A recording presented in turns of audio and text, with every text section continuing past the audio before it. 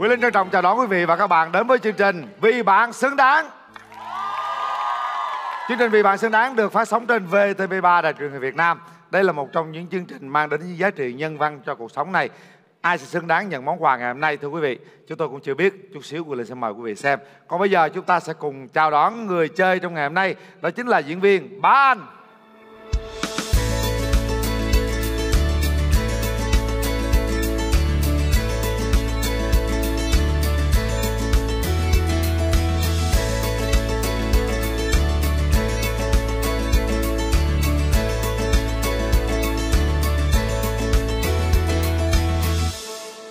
Xin chào. Chào anh. À, Xin uh, chào toàn bộ uh, quý vị khán giả. Anh à, đến từ thủ đô Hà Nội ở nhà hát kịch tuổi trẻ. Dạ. Hôm nay à, chúng ta không diễn một vai nào cả mà chúng ta sẽ là người chơi để trả lời 5 câu hỏi của chương trình. À, hy vọng rằng ta sẽ cố gắng vượt qua nó. Nhưng nói gì nói nhưng mà kiến thức vô hạn nó cũng khó lắm á. Dạ vâng. Thoải mái. Hôm nay uh, em đến đây em cũng muốn uh, được tất cả những cái gì có thể uh, trao gửi đến để mà mang đến một cái chương trình thật vui và mang đến cho bạn Mỹ Duyên một cái món quà thật là tốt nhất. Và mong tất cả các bạn hãy ủng hộ cho anh Quyền Linh và cho bà anh. Thưa quý vị, nhân vật ngày hôm nay chính là em Mỹ Duyên. Hoàn cảnh Mỹ Duyên thế nào xin mời quý vị hướng về màn hình. Hình ảnh người bố khắc khổ và mắc bệnh thần kinh luôn là động lực để cô học trò Trần Thị Mỹ Duyên ở thôn Mỹ Liên, xã Kỳ Văn, huyện Kỳ Anh, tỉnh Hà Tĩnh cố gắng mỗi ngày.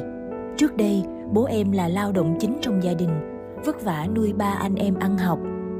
Nhưng sau ngày mẹ mất, tinh thần bố em suy sụp dần và mắc bệnh thần kinh từ lúc nào không hay. Hiện em ở cùng bố và mẹ kế. Mẹ kế cũng không được khôn ngoan, nhanh nhẹn, lại thêm sức yếu, nên mọi việc trong nhà đều do Quyên quán xuyến, lo toan. Hai anh trai của Duyên đã lập gia đình và đi làm ăn xa, thỉnh thoảng có gửi cho em gái chút tiền để phụ giúp gia đình, nhưng cũng không đáng là bao bởi công việc của các anh còn bấp bênh và thu nhập thấp. thu nhập chủ yếu là vào sầu ruộng và cùng cái mảnh vườn này ở thì chăn nuôi thêm ờ, con lợn à, con trâu và duyên cũng trở thành là cái người trụ cột ở trong gia đình Hoàn cảnh khó khăn nhưng không thể dập tắt niềm khát khao học tập của Mỹ Duyên. Bởi em hiểu rằng học chính là con đường giúp em có một tương lai tốt đẹp hơn. Hiện em đang là học sinh lớp 12A3, trường trung học phổ thông Kỳ Anh. Trong suốt những năm học qua, em luôn đạt danh hiệu học sinh giỏi cùng các giải thưởng trong nhiều cuộc thi về học tập. Trong mắt bạn bè thầy cô, quyên luôn là tấm gương của lối sống khiêm tốn, mạnh mẽ, giúp em luôn nhận được sự tín nhiệm từ thầy cô và sự yêu mến từ các bạn. Dù cho là hoàn cảnh gia đình bạn khó khăn như thế nhưng bạn vẫn rất là cân cù chịu thương chịu khó và quá bạn thì em học hỏi được sự lạc quan yếu đôi của bạn và học tập ở bạn rất nhiều điều trong học tập và cũng như là cuộc sống ạ. Ờ, Mỹ Duyên là một tấm gương vượt khó trong học tập. Em thường nằm trong vị trí top đầu của lớp, là cánh chim đầu đàn trong phong trào học tập. Ngoài ra, Mỹ Duyên còn là một đoàn viên tích cực, nhiệt tình, năng nổ trong các phong trào hoạt động của đoàn trường. Niềm hy vọng lớn nhất của Duyên là được học hành, xây dựng tương lai tốt hơn, qua đó có điều kiện chăm sóc bố mẹ. em thấy bố như vậy thì em rất, rất là muốn được quan tâm được lo cho bố từng miếng giấc ngủ. Và khi người khác nhìn thấy như vậy thì em không hề thấy xấu hổ. Trước đó thì bố em là một người rất chỉ là mạnh mẽ. Bố đã từng lo cho em rất nhiều. Em cũng đã cảm thấy rất rất nhiều điều đó bố thì từ trước tới giờ luôn là người mà yêu thương em nhất. Em cũng từng khóc từng khóc một mình. Ờ, không không để ai thấy cả. Bởi vì để người khác thấy thì em vẫn, vẫn buồn. Và sợ là họ sẽ nghĩ mình yếu đuối. Chỉ khi được chứng kiến cảnh gia đình và những khó khăn vất vả trong cuộc sống của Trần Thị Mỹ Duyên mới thấy được rằng để đạt được những thành tích trên con đường học vấn là không hề dễ dàng. Nhưng với Duyên, em chưa bao giờ cho phép bản thân gục ngã bởi em là niềm an ủi, động lực lớn cho cả gia đình, đặc biệt là cho người bố thân yêu.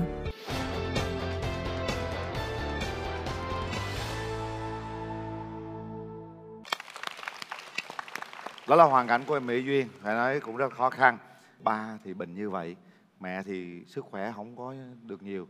Một mình em phải cán đáng tất cả mọi thứ bây giờ còn tiền học nữa. Dạ. ha một cái tương lai tươi sáng đang chờ em nhưng mà bây giờ nếu như không có sự hỗ trợ của chương trình thì ờ, cái con đường tương lai của em nó sẽ gặp rất nhiều khó khăn thậm chí nó dừng lại nữa.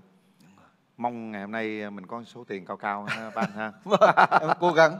Cố gắng nha. Rồi anh em ban sẵn sàng chưa? Dạ em sẵn sàng. tốt không? Dạ cố gắng hết sức. Tốt nha. Không căng thẳng thoải mái nào. Ok. chúng ta sẽ bắt đầu vì bạn xứng đáng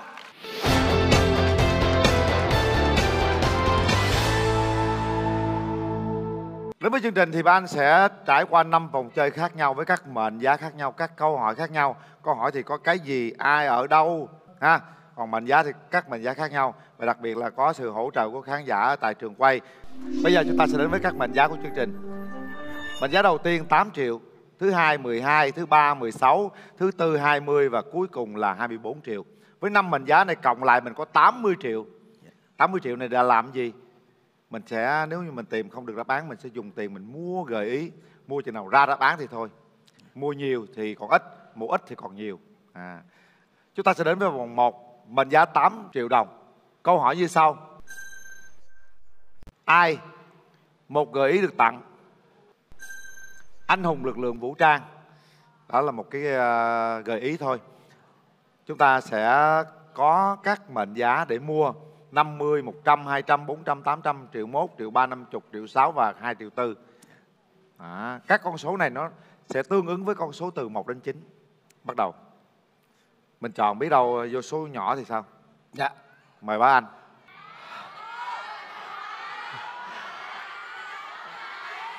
Em xin chọn à, số 2 số 2 mở. Mệnh giá số 2 là bao nhiêu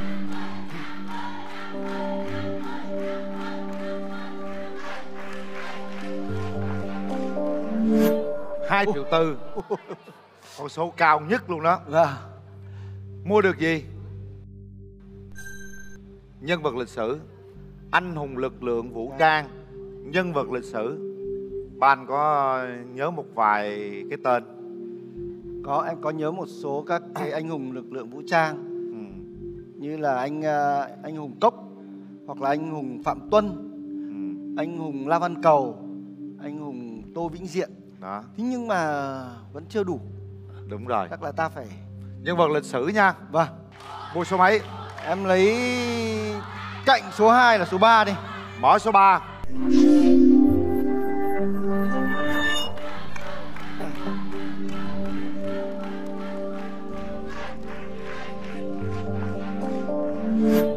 một triệu một mua được gì? Bí danh à anh hùng lực lượng vũ trang mà nhân vật lịch sử có bí danh nữa. Có bí danh thì sao các em? Bí danh tức là một cái ờ, tên giống như ờ, là khi để hoạt động cách đúng rồi hoạt là động ờ, bí mật đó. Vâng Ừ. em nghĩ đây là một anh ba tư năm sáu bảy gì đó. mà mà có liên quan đến tình báo. Ừ, đúng rồi. Cũng tình có thể. báo nhưng mà vẫn chưa đủ dữ liệu. À. Em nghĩ là vẫn phải mở thêm. Rồi. Em không tin rằng là số 4 mà lại vẫn cứ cao mọi người có đồng ý không? Số 4 nhá. Rồi mở số 4 mệnh giá số 4 là bao nhiêu?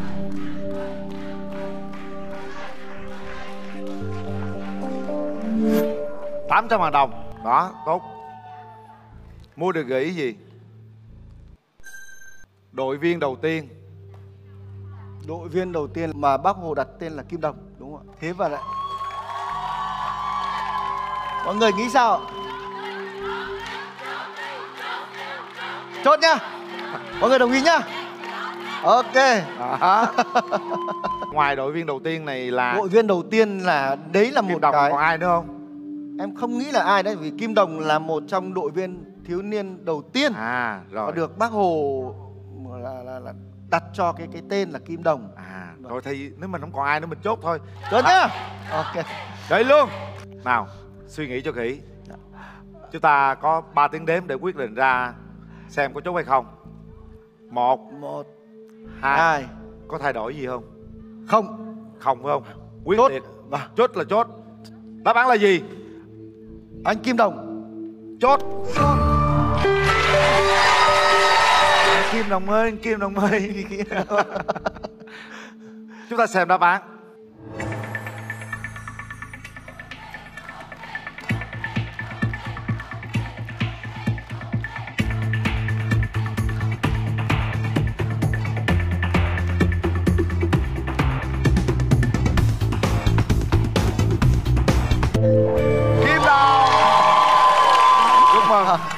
Ơn anh linh cảm ơn tất cả các bạn Một đáp án chính xác.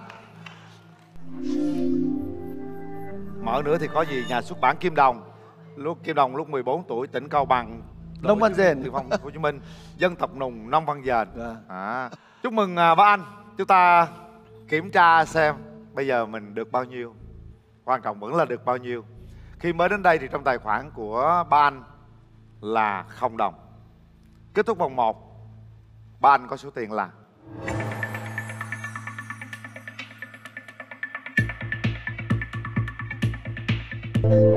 Ba cảm ơn. Cảm ơn mọi người. Cho Quỳ Linh kết nối với hiện trường. Chào Thanh Hương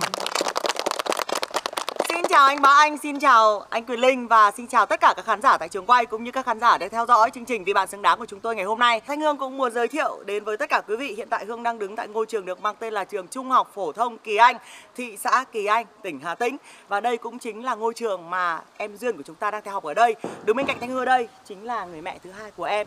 À, quý vị cũng đã biết hoàn cảnh của em vô cùng đặc biệt.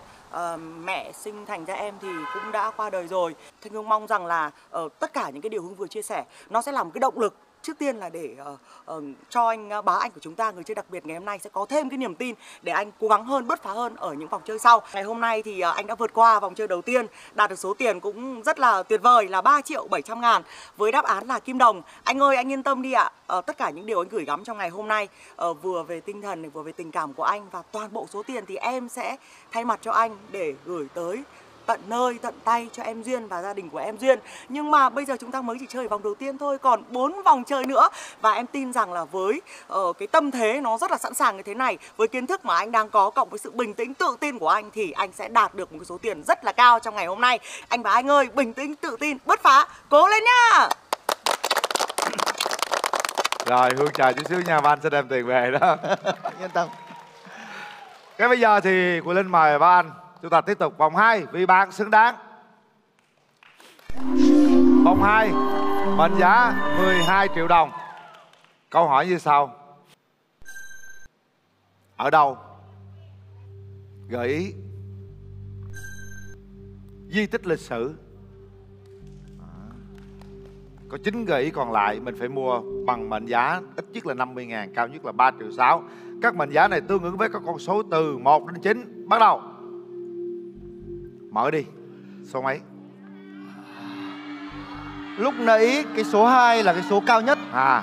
Vậy thì bây giờ em không tin rằng số 2 sẽ là cái số 3 triệu 6 nữa mà chúng ta sẽ mở số 2 mọi người đồng ý không ạ? Mở số 2 số 2 mở. Mệnh giá số 2 là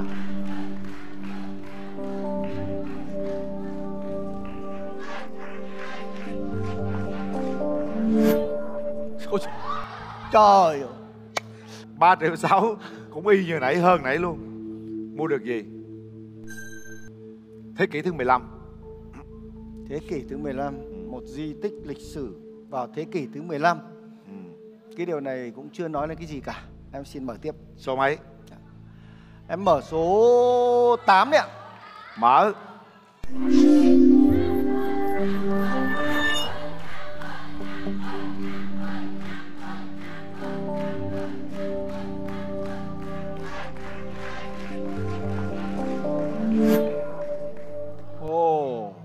2 triệu mốt. Ồ 2 triệu mốt. Mua gì? Trống đồng đông sơn lớn nhất. Trống đồng đông sơn lớn nhất. Tức là một cái di tích lịch sử này có trống đồng đông sơn lớn nhất ở thế kỷ thứ 15 mày có nghĩ ra trống đồng nằm ở đâu không? Thanh Hóa. Thanh hóa hả? Vâng. À. Đông Sơn là Thanh Hóa. Ở đây Thanh Hóa và Thanh Hóa cái cái cái vùng Đông Sơn đấy cũng là quê của một cụ tổ của của của của, của em ạ. À vậy và anh vâng. À. Thì cái dòng họ nhà em bây giờ tất cả mọi người đều thi cái hiệu khi mà ghi khi mà mất rồi là các cụ ghi là hiệu Đông Sơn. À vậy đó hả? Vâng. Em là họ họ gì? Em là họ Lê. Họ lê. Lê Bá. À lê bá anh. Vâng ạ. À. Chúng ta cũng chưa có gì à, chưa có cái gì để mà chốt hết ha? chốt được. Vâng. mua tiếp em chọn số 6 ạ. Mở số 6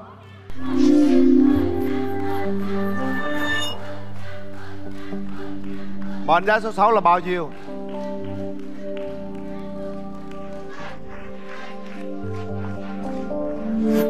Năm mươi ngàn đồng cảm ơn cả nhà. À, mở gửi. Lăng mộ. Trống đồng đông sơn lớn nhất có lăng mộ nữa. Lăng mộ ở Thanh Hóa. Di tích lịch sử. Di tích lịch sử. Lăng mộ lăng nhiều. mộ của cụ ờ, qua thế kỷ thứ 15 Ừ. thế kỷ 15 là cái thế kỷ ờ, có vua vua Lê Lợi khởi nghĩa đúng không ạ? Ừ. trống đồng đông sơn lớn nhất lăng mộ. Lăng mộ nói đến huế hả? Lăng mộ đâu nhiều nhất nha ở, ở Huế thì nhiều lăng mộ ạ. Nhưng mà đang nói đến đồ, chống đồng Đông Sơn lớn nhất. Là là thanh hóa hả? Vâng thế này Ừ, ta lại phải tiếp tục mở thôi. Thôi mở thôi. Vâng. Mình phân tích chưa thấy được gì đúng dạ chân vâng không? ta cứ tiếp tục vâng. Mở tiếp. Ta mở số 1 số 1 mở.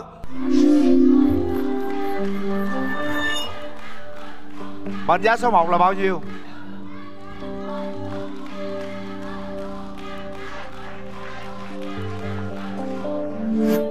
Một triệu mốt. Mua được gì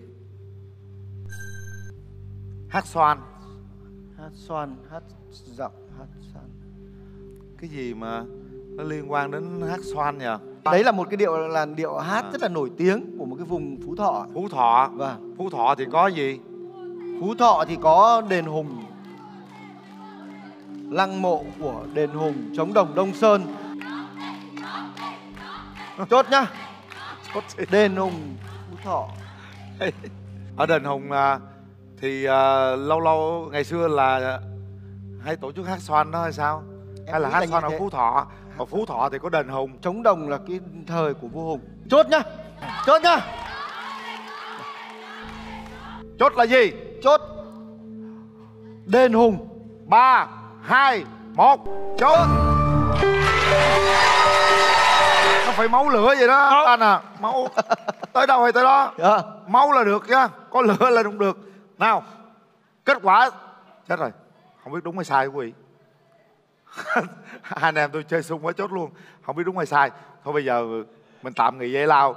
Mình vô mình gõ google mình coi có đúng hay không. Chúng tôi sẽ quay trở lại trong vài phút nữa quý vị nhé.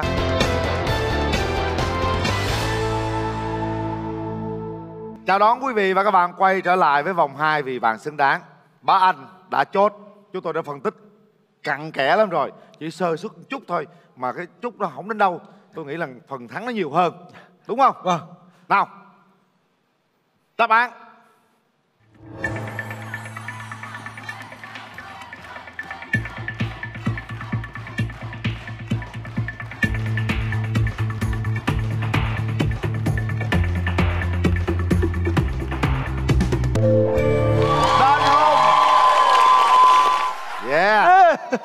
Ngon lành. Cảm ơn các À. em. Cảm ơn tất cả các bạn. Rất là thoải mái đúng không? À, vâng. vui vẻ. Đền hùng một đáp án chính xác. Chúng ta xem những gợi ý còn lại.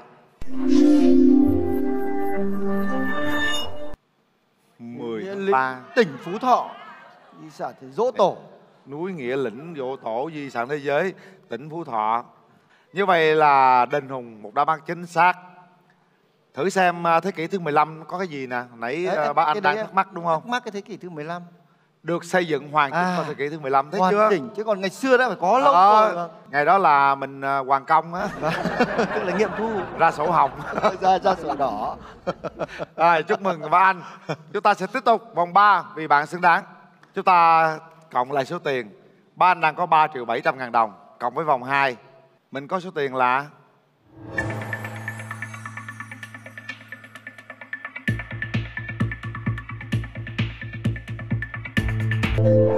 tám triệu 800 ngàn đồng. 88 là nghe có vẻ là son đấy. 88 là phát phát đấy. Chưa chưa, nhiều lắm. Mình phải Vâng. nỗ lực hơn nữa. Phải nỗ lực hơn nữa. Vâng. chưa nhiều lắm. Tại vì máy nó trừ mình nhiều tiền quá. Bây giờ chúng ta sẽ tiếp tục. Vòng ba vị bạn xứng đáng mệnh giá là 16 triệu đồng. Câu hỏi như sau. Cái gì? Vụ gì? Việc gì? Con gì? Trái gì? Cây gì? Tên gì? Đó gợi ý. Giàu chất dinh dưỡng. Cái gì giàu chất dinh dưỡng? Cái trái gì? Hay cái cây gì? Hay cái loại gì? Vân vân. Nào. Chính gợi ý, mình phải mua thấp nhất 100 ngàn, cao nhất là 4 triệu 8 bắt đầu. Chọn đi, ba anh.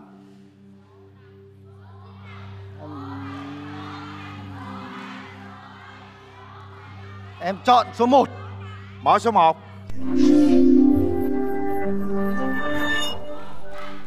Mệnh giá số 1 là bao nhiêu?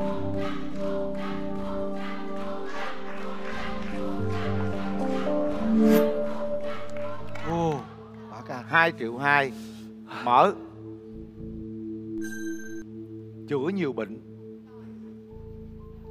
Cái gì mà giàu chất dinh dưỡng chữa nhiều bệnh? Thảo dược hả? nếu mà thảo dược thì em nghĩ đấy là là tỏi. Tỏi? Vâng ừ. thế nhưng mà vẫn chưa thể chốt được bởi vì em nghĩ là nó vẫn chưa đầy đủ hết các dữ liệu em chọn số 6 Mở số 6 Mệnh giá số 6 là bao nhiêu?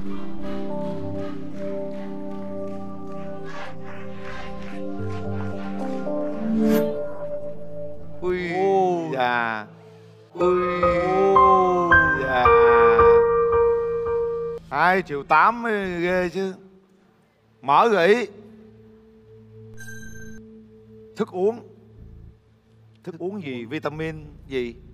Giàu chất dinh dưỡng, dinh dưỡng chữa, nhiều, bệnh. bệnh Nước, một cái loại nước ừ. Mà chữa được nhiều bệnh có thể là nước rau má ừ. Nước khổ qua Giàu chất dinh dưỡng Mua thêm Mua. Số 2 Mở số 2 Mệnh giá số 2 là bao nhiêu?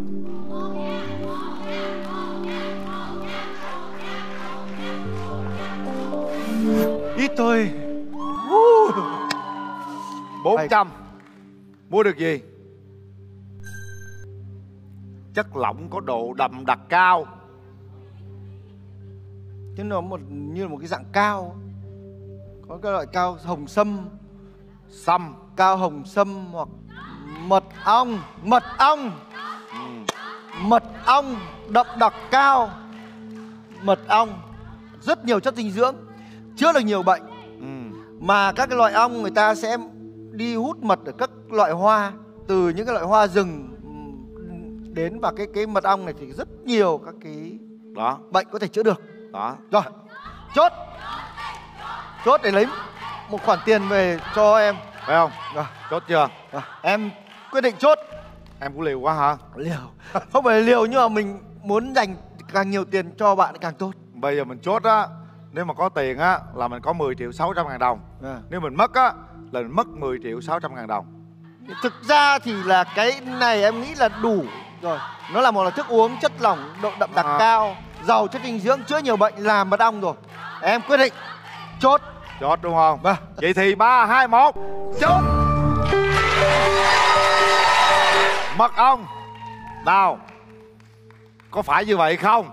Với mong muốn kiếm được nhiều tiền dành cho em Duyên Nên chỉ sau những gợi ý ban đầu Diễn viên Bá Anh đã rất quyết đoán cho câu trả lời của mình Không biết mật ong có phải đáp án chính xác trong vòng chơi này không? Chúng ta cùng theo dõi ngay sau đây nhé Giàu chất dinh dưỡng Chữa nhiều bệnh thức uống Chất lỏng có độ đậm đặc cao. Không gì khác, đó là mật ong. Xem đáp án.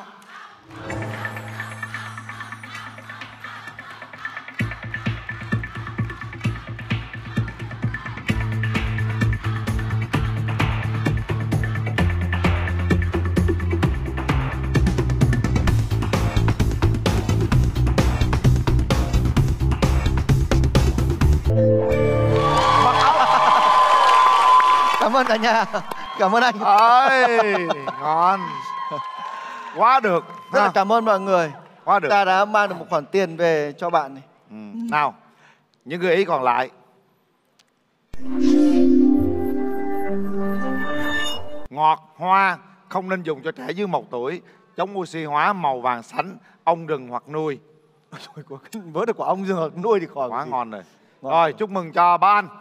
Chúng ta cộng số tiền thôi 8 triệu 850 ngàn đồng cộng với vòng 3 ba anh có số tiền là?